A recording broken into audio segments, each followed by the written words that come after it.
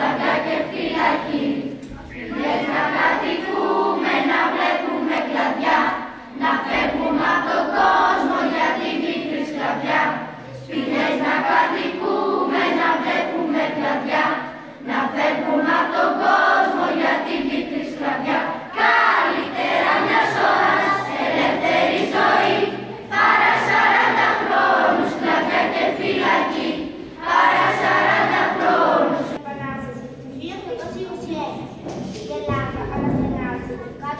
Κάτω από τη σπαθή των Τούρκων.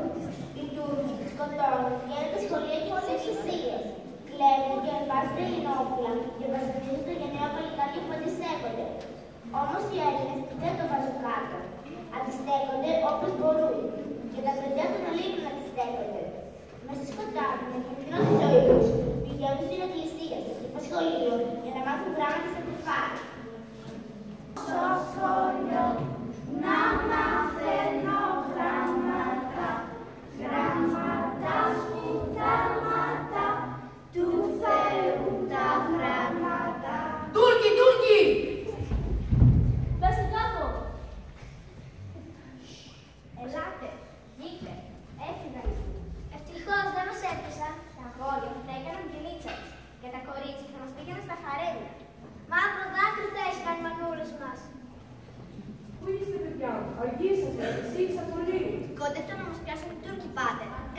Κάνουμε κύκλο για να μην μας δουν.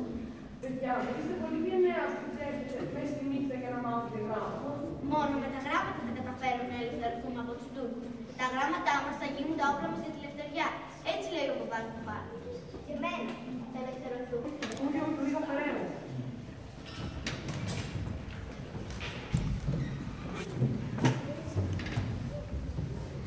Ως πότε παλικάρια, Ως πότε παλικάρια, θα ζούμε στα στενά. θα ζούμε στα στενά.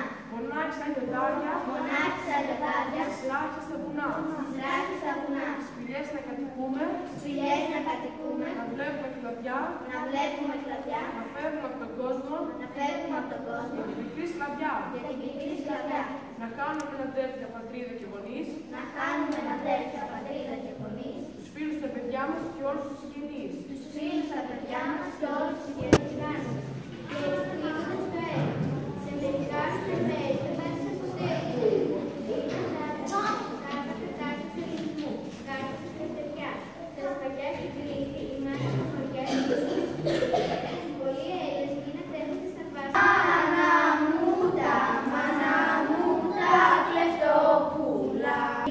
care.